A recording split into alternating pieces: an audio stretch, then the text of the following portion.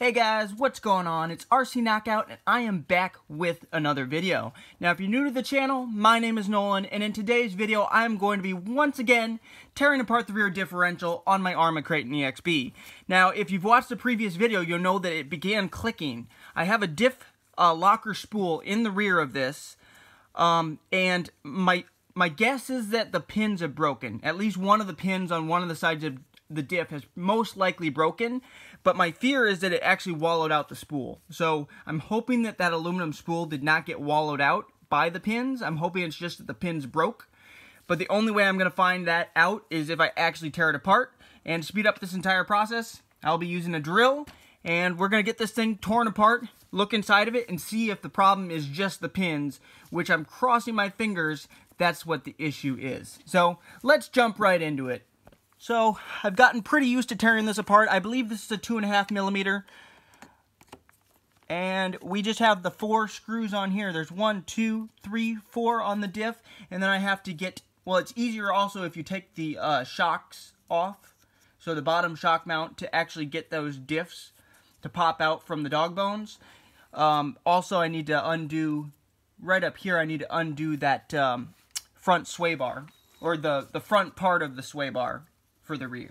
As you can see right here, also another thing that happened. I don't know if that broke or if it just came loose, but I think I lost a lot of shock oil out of this rear shock the last time I ran it as well. So let's dive right into it. We're just going to take these four screws off.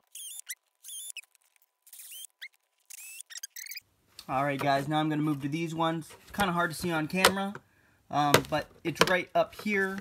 This I believe is just a 2 mil. And we got that one out. This side, exact same thing.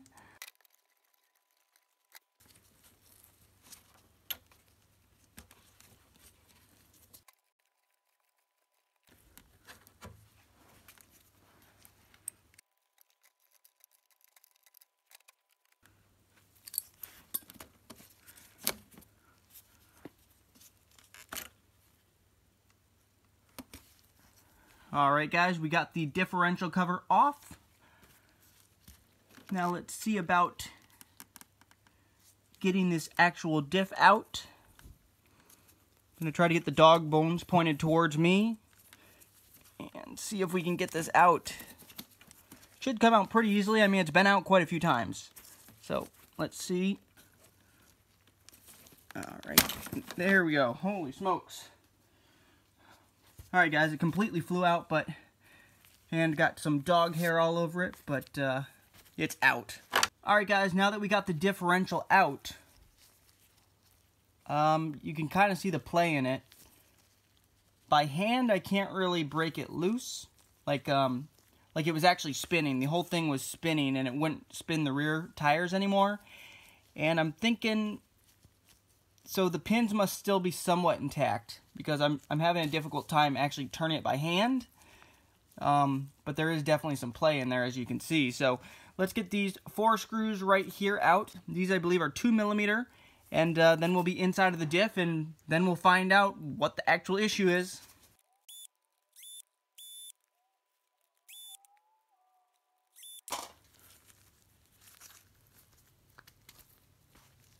There we go. As you guys can see, the last time I did damage this, uh, this little gasket right here got damaged.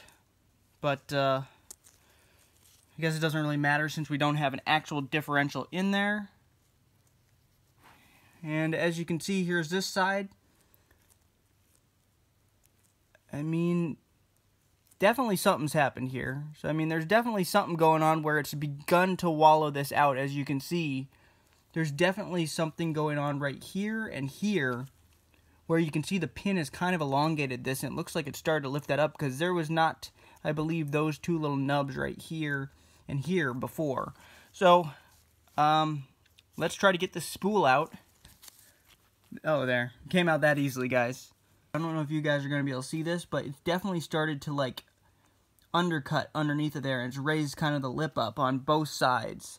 So maybe I need to shim shim those diffs a little bit more, but that's going to be hard to do, to shim these actual, um, shim this any more any more than I already have underneath the pin. Now the pin right there, that one's not broken. And this one is not broken. So, interesting. That's what I figured I would find when I got into here. I figured one of the pins would be broken. Neither of the pins is broken. And it doesn't look like this has gotten to the point where it's wallowed it out. This side's definitely done more damage right here. So you can see there's something going on where this began to dug in, dig in. The pin obviously has a little bit of room to move in there. Started to dig in on this side somewhat and a little bit on that side, but I still don't see how that would have given unless it's not the rear differential and it's in fact the center diff. But I have a feeling it's a rear. I think what I'm to do is, I remember when I took this apart, I was not able to get another washer underneath of this side. I think this is the side of the spool that's actually begun to wallow out more. So you can see it started to undercut there and push up some of the aluminum material, but not wallowed out the way that I thought it would have been. Like I was worried that it spun this whole thing within there, and it definitely didn't do that. So I'm trying to figure out how there was no power going to the rear. And I remember when I when I fixed this the last time when I put the spool in, I could only fit four washers under there, or four shims, I should say. And I know I'm not going to get another one under there, so I think what I'm going to do is, since this is the side that's damaging this, I think I'll put um, or since this is the side that's being damaged by that bottom one, I think I'll flip it and put this side, which is in a little bit better shape, but there is a little bit going on here. And then I might attempt to get another one under this side. And if I can't do that, then I think I'm just going to try to tighten this up as much as I possibly can so there's no movement within there. Because that's all I can think to do. So we're going to basically put the spool back in just the other way around and put the less damaged side down Now, this side, this is the thing that I'm kind of wondering about. Like, can I get another shim? That came out pretty easily, but how many shims can I get under that side? So, be right back, guys, and uh, I'll try to fit another couple shims, at least one, back underneath that side. I want these pins pushed as close into that spool as possible so it doesn't round out that spool, which is already beginning to happen at this on this side. Obviously, the pins somewhere near the top, you might not be able to see, but it's digging into the metal and it's pushing up on the aluminum right there. So we want this deeper down in there and hopefully it won't be able to spin that. And I was able to get two more on this side. So that's good. So hopefully this will tighten it up. Let's get this side set down. I might also take apart the center diff and see if the center diff is an issue. Because, I don't know. I mean, I'd be surprised if it was just this because this did not look like it was spinning. It didn't look like those pins were spinning in there. So, um, it could be the center differential. I know it's not the front. The front's the only one that was still working. I will do a quick time lapse and I'll be right back with you guys and we're going to see if that does anything.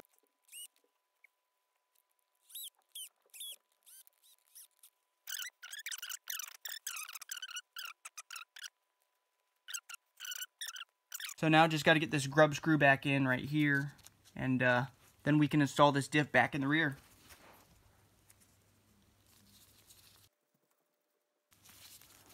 Alright guys, we're going to go ahead and put this back in. As you can see, a little bit of play, but um, I don't know. It seems about the same as it was. It doesn't seem really a whole lot different.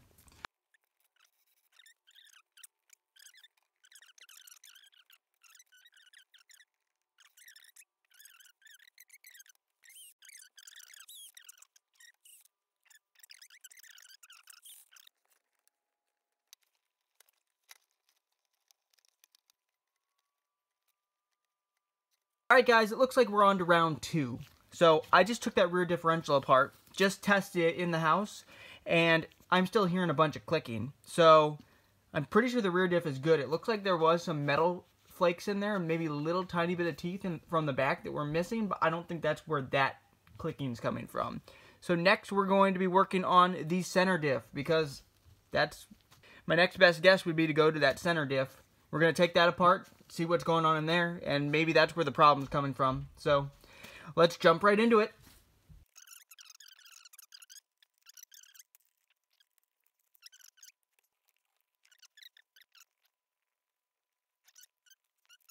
So then we can access these four screws on top.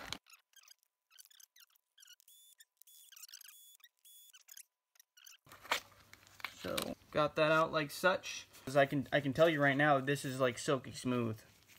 So there's no issue with this. Which means the issue's coming from the rear diff. Like with this rear diff. Now it's not connected to anything. Huh.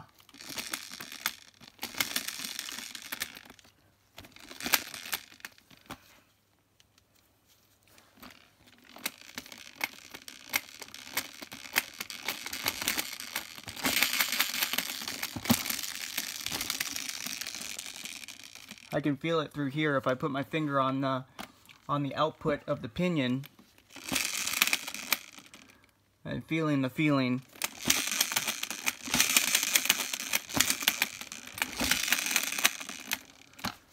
Oh, that's great. I don't know what I'm going to do, guys. I might just end it here and put this back together, because I honestly have no idea. I mean, there was some teeth, little bits of teeth that were chipped, but I wouldn't think it'd make that much noise. Maybe, but maybe I'll have to wait for Arrma to send me that limited slip diff. There might not be much more I can do because the issue's not with the spool, so it must be somehow the gear mesh in between the teeth and the pinion in the rear diff. I mean, maybe I didn't look at the pinion. I guess I didn't pull the pinion out. Maybe the pinion's chipped. There was some metal shavings in there, but I looked at the diff gear, and the diff gear had a few partially chipped teeth, but it didn't look like anything that would cause too much noise, so I didn't didn't think much about it. Alright guys, so I opened the rear differential up because if you saw, I opened up the rear and the spool looked fine. Um, I mean, it, it, definitely was starting to like eat away a little bit, but that definitely is not what the issue is. As you can see, there's definitely some play in here where those pins are moving a little bit, but um, there's something else grinding in the back because then I moved on to the center diff, took the center diff out, didn't even bother taking it apart because I spun it and it was smooth as silk. So I know it's coming from the rear confirm that once I disconnected it from the front from the uh, center drive shaft. Here's the pinion in the rear. Now I do have to say, I don't know if you guys can see that well. Those bottom part, I don't know, the, the tips look very, very sharp, but overall this gear looks fine. I don't see any chips on it anywhere. Alright guys, maybe now you can see better. I turned the light off on the camera, I mean. It almost looks like it's starting to spin. Almost like the gear mesh isn't going to be right now. Almost like it spun. I don't know if you can see that, but it appears that the teeth are digging in to the actual pinion further in. Unless those indentations are supposed to be there. Can you guys see that? You guys see what I mean? How right in here there's little lines where it it looks as though the gear mesh is messed up to the point where it's actually digging in to the actual inner part of the pinion right here. Unless that's how it's designed. Also, these ends look kind of sharp. Almost like it twisted them. But none of the teeth, all the teeth are intact. I mean, there's no chips off of this. It almost looks, I mean, this is spiral cut. It almost looks like it started to, like, unspiral cut it, if that makes sense because I think these are spiral cut gears, they're starting to look more and more straight. Does that make sense, guys? That pinion doesn't look spiral cut really all that much anymore. I'm trying to get it so you guys can actually see it. I mean, that doesn't look very spirally. There's definitely some spiral cut in it still, but something looks up with that pinion. Something looks like it's twisted. I mean, from this side, it still looks like it's spiral cut. From the front, but you guys can see like the tips, the ends look very sharp for some reason, but the teeth look fine otherwise. Now looking at the diff gear, I did notice a few little chips off on the diff gear, but I didn't notice any teeth missing. So I'm going to take a closer look. I guess right here there's kind of a big chip missing off of that tooth. That tooth looks somewhat grounded. The easiest way is just looking at the side of it. Ooh, that one right there, definitely grounded down. These two right here look kind of grounded down. Because here's how they're supposed to be up here. You guys can see the points. Then look how right here and here there's no points on those teeth on the sides of them. Sorry, my hands are shaking. I have uh, shaky hands. Can't really help it. Most of these look intact. Some of them look a little bit ground down near the top But really, I only see about two or three teeth that actually look damaged. That one's damaged right here. This one by my thumb. That one's obviously been somewhat rounded off at the top of the tooth. And then the one right next to it, or this one kind of has as well. That one. That one, the top appears to be grounded down a little bit. Maybe this one as well. So yeah, there's maybe two or four teeth in here that look like they've been somewhat grounded down. Now let's see. Meshes up against this like such. So I'm going to try to mimic how it meshes. The only thing I can think is that it's actually pushing this. How can that even happen? So something's definitely happening. I'm trying to figure out what's happening though. I mean, it spins on that, but yeah, it's not spinning smoothly. You guys can see, like it's not super smooth. Here's kind of the issue area right in there.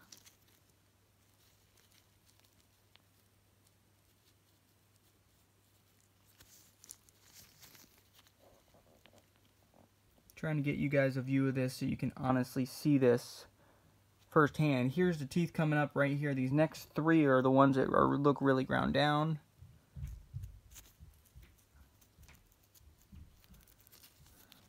I mean,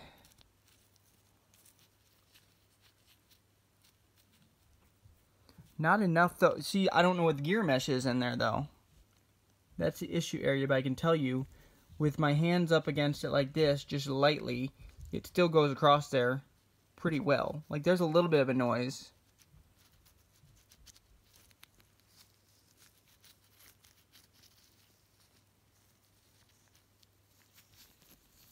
I mean, if the gear mesh is off and it's like pushed out, I could see how it could be skipping over these teeth. But they're still making contact when it's close. I don't know. That just doesn't seem chipped enough to where that's where the noise is coming from. Most of these teeth are intact. Because you can see at the very top how those edges of the top of the pinion are kind of rounded. Almost like it wasn't touching right there. I mean, it doesn't go super smoothly, but also it doesn't seem like there's enough going on there where it would be making that type of noise. There's the issue spot right there. I mean, it would have to be away, quite a ways away from the. I mean, I guess I can I can I can shim this so this pushes it closer because I do have the shims right here that'll push the diff closer, and that's about all I can do on the rear. I can. Uh, I don't even think I have to take this apart. I think all I have to do is just slide this right here, these ARA 70, 90, 31s. These ones were the ones, I used one I think on the front. I don't know, I watched a video and they did put it on the outside of the bearing like this without taking the uh, differential back apart, but it would have been a lot easier to take the diff back apart because that barely fit those two shims in there where it was able to actually seat down in there. I don't know if you're going to be able to see, but uh, they're kind of mangled a little bit, but it, it'll work. I just need to make sure when I put the cover over, that closes over it flush. And holds both of those in like it is on the bottom. So I'm going to do that and see if that, I mean it was really difficult to get down in there and see if that will hopefully improve our problem with the teeth obviously somehow slipping or something's happening. Um, I put a shim in the diff uh, just to push the differential a little bit closer to the pinion gear because I thought the mesh might be off and this is basically still the end result.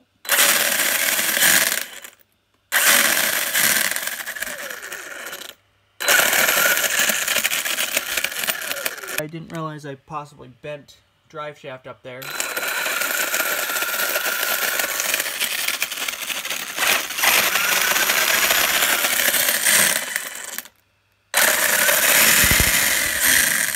Sounds horrible.